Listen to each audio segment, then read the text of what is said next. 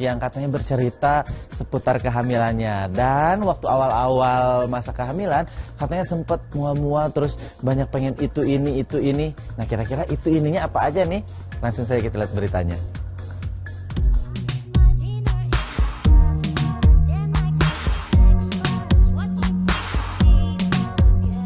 Pasca menikah dengan Abiyapto tahun 2013 lalu, baru kali ini artis cantik Yasmin Whiteblood mendapat karunia kehamilan dari Allah Subhanahu wa taala. Dan saat ini usia kehamilan Yasmin pun sudah memasuki bulan ke-7. Saat ditemui tim Insert Jumat kemarin, wanita 23 tahun ini tampak antusias menceritakan seputar kehamilan pertamanya yang dirasa tidak terlalu merepotkan, baik bagi dirinya maupun sang suami. Yasmin mengaku hanya mengalami muntah-muntah serta migrain di awal-awal kehamilannya. Setelah itu saat ini semuanya berjalan lancar. Uh, Senin besok itu masuk 7 bulan. Jadi udah mau 7 bulan sih. Aku emang dari awal hamil nggak ngidam sih, cuman sempat emang uh, tiga bulan pertama itu setiap pagi itu muntah. Tapi pas pagi doang, setelah sarapan, makan siang gitu sih udah enggak. Cuman kadang-kadang masih suka kayak pusing-pusing gitu. Cuman kayak ngidam pengen makan ini, pengen ngapain, pengen ngapain tuh nggak sama sekali. Paling cuman suka masih sempat suka kayak migrain gitu. Bila untungnya baik-baik aja, terus eh, nggak uh, yang harus di rumah capek gitu juga enggak sih. Cuman emang bawaan juga pengen jalan terus. Cuman emang nggak tenaganya nggak sekuat biasanya gitu. Paling sekarang di, agak sedikit gampang capek. Cuman nggak yang harus istirahat di rumah. Nggak shopping sih ya pokoknya daripada di rumah bosen pasti bawaannya pengen keluar duduk ngopi-ngopi nonton. Kendati cukup lama mendapatkan karunia kehamilan, Yasmin sendiri mengaku tidak memprogramkan kehamilan pada dirinya. Ia bahkan baru tahu positif hamil ketika berkunjung ke rumah salah seorang temannya. Kemarin sih emang udah nggak diprogram, cuman ya kita sedikasihnya aja. Terus ternyata bulan Februari kemarin tahu hamil positif. Pas aku lagi tes itu lagi di rumahnya Nabila, lagi mau jalan sama teman-teman cewek aku. Kita berempat lagi mau jalan malam itu tapi karena aku udah telat eh iseng ambil ah, temenin dong beli tas pack gitu. Oh yaudah gitu. Pas mau jalan iseng di rumahnya. Ngeceknya ternyata positif gitu. Langsung suami aku langsung aku telepon. Uh, dia senang banget pokoknya. Yaudah uh, jangan bilang siapa-siapa dulu ya. Takutnya pamali atau apa gitu. Ya dua minggu kemudian semua orang udah tahu dari dia. Dia yang larang tapi dia mungkin gak kuat nahan cerita keriting cerita lah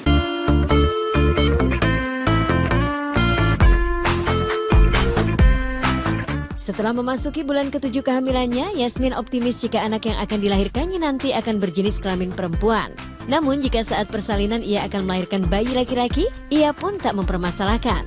Bagi Yasmin, mendapatkan anak perempuan atau laki-laki di kehamilan pertama tak lantas harus ia sesali. Ia pun menginginkan melahirkan secara normal dan tidak jauh dari orang tuanya yang saat ini menetap di Jakarta. Uh, perempuan, insya Allah perempuan. So far sih di setiap di WSG um, selalu perempuan. Gitu. Nah pertama mau perempuan mau cowok aku sih terserah lagian juga nasi anak pertama jadi aku dikasihnya aja. Mungkin kalau sekarang perempuan nanti kalau anak kedua sih pengennya cowok.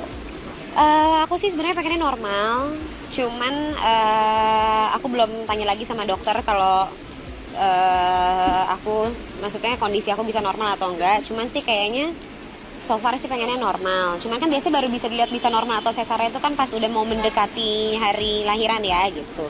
Jadi sih aku ya Bismillah aja pengennya sih normal. Nah, di Jakarta aja deh soalnya ini anak pertama masih butuh orang tua dan uh, orang di rumah untuk membantu gitu. Kalau luar negeri atau di mana kan cuma bisa berdua sama suami kayaknya nggak nggak akan sanggup.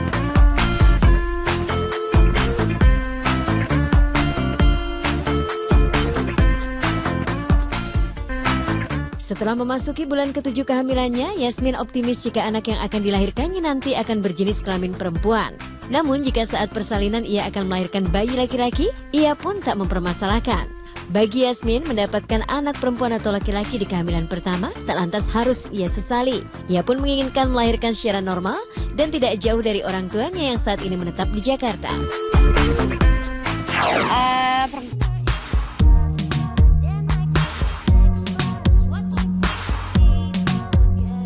Pasca menikah dengan Abiapto tahun 2013 lalu, baru kali ini artis cantik Yasmin Whiteblood mendapat karunia kehamilan dari Allah Subhanahu wa taala. Dan saat ini usia kehamilan Yasmin pun sudah memasuki bulan ke-7.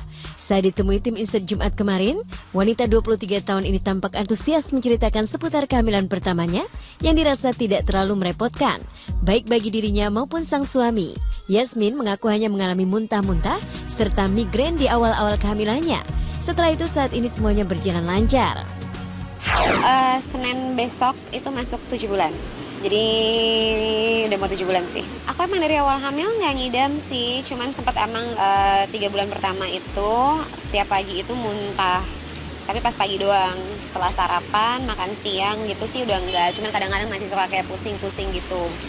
Cuman kayak ngidam pengen makan ini, pengen ngapain, pengen ngapain tuh nggak sama sekali. Paling cuman suka masih sempat suka kayak migrain gitu. Bila untungnya baik-baik aja, terus uh, nggak yang harus di rumah capek gitu juga enggak sih. Cuman emang bawaan juga pengen jalan terus, cuman emang nggak tenaganya nggak sekuat biasanya gitu. Paling sekarang di, agak sedikit gampang capek, cuman nggak yang harus istirahat di rumah. Nggak shopping sih, ya pokoknya daripada di rumah bosen pasti bawaannya pengen keluar, duduk, ngopi-ngopi, nonton.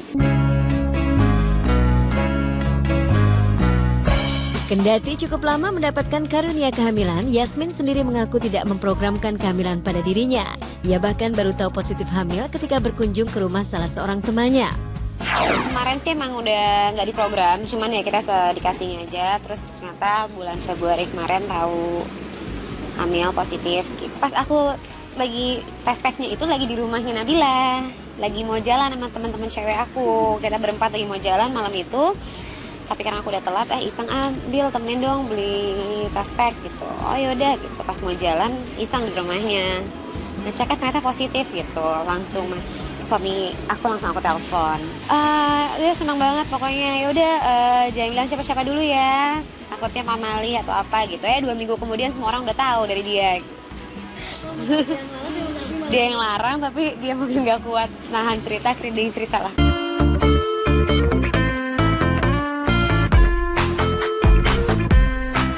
Setelah memasuki bulan ketujuh kehamilannya, Yasmin optimis jika anak yang akan dilahirkannya nanti akan berjenis kelamin perempuan. Namun jika saat persalinan ia akan melahirkan bayi laki-laki, ia pun tak mempermasalahkan.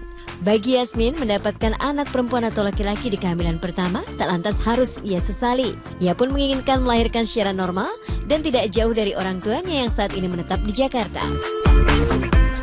Uh, perempuan, insya Allah perempuan. So far sih di setiap di USG um, selalu perempuan. Gitu. Nah pertama mau perempuan mau cowok aku sih terserah lagian juga nasi anak pertama jadi aku sedikasihnya aja. Mungkin kalau sekarang perempuan nanti kalau anak kedua sih pengennya cowok. Uh, aku sih sebenarnya pengennya normal, cuman uh, aku belum tanya lagi sama dokter kalau uh, aku maksudnya kondisi aku bisa normal atau enggak. Cuman sih kayaknya so far sih pengennya normal. Cuman kan biasanya baru bisa dilihat bisa normal atau sesar itu kan pas udah mau mendekati hari lahiran ya gitu. Jadi sih aku ya Bismillah aja pengennya sih normal. Ah, di Jakarta aja deh soalnya ini pertama masih butuh orang tua dan uh, orang di rumah untuk membantu gitu. Kalau luar negeri atau di mana kan cuma bisa berdua sama suami kayaknya nggak nggak akan sanggup.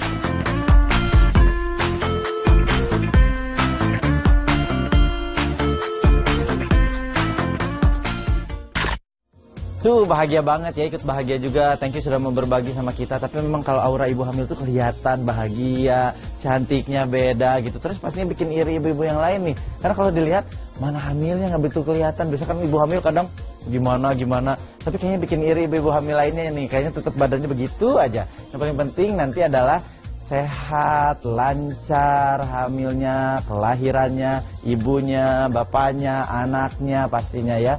Anak perempuan nanti berarti wah siap-siap nih punya teman shopping nanti mamanya ya. Oke,